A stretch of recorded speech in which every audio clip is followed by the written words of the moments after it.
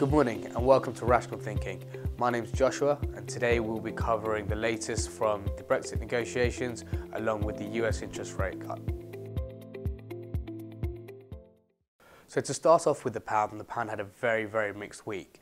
Uh, initially started by rumours of the DUP looking to concede on their Irish backstop um, proposals, but at the same time we've had a lot of criticism, especially from the Luxembourg Prime Minister, that British counterparts had failed to put forward a reasonable alternative to the backstop itself.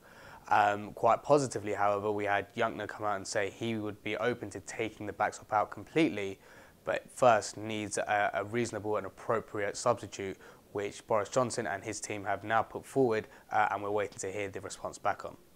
Um, in addition, we also had the MPC minutes on Thursday last week. Again, very similar, uh, reiterated things that we already knew. Um, Mark Carney uh, went on to say that, you know, should we have a disorderly no-deal Brexit, we would be in a position to be cutting interest rates. Um, but obviously, the other side of the coin is that if we were to have a transitional Brexit with a with a strong deal that favoured both the UK and Europe, uh, we could be in a position where we're looking at raising interest rates. So moving on to the US dollar, uh, we have the interest rate cut by the Federal Reserve. Chairman Jerome Powell cut the interest rate by 25 basis points. However, that was received by criticism from President Donald Trump, who said the Federal Reserve were cutting interest rates too slowly uh, and not by a big enough margin. Previous uh, FOMC meetings uh, indicated more than one interest rate cut for, for the year of 2019.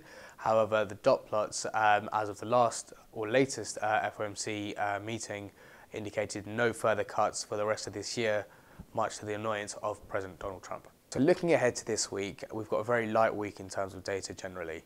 Uh, we've got Mario Draghi and Mark Carney speaking uh, at the same event later on this week, uh, with more of a focus being on US dollar data.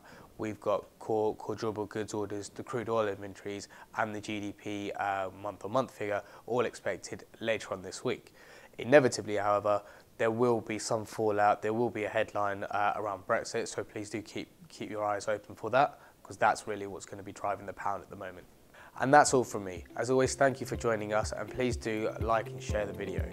If you have any questions or queries or any currency requirements that you need help with, please feel free to reach out to us on the email address provided.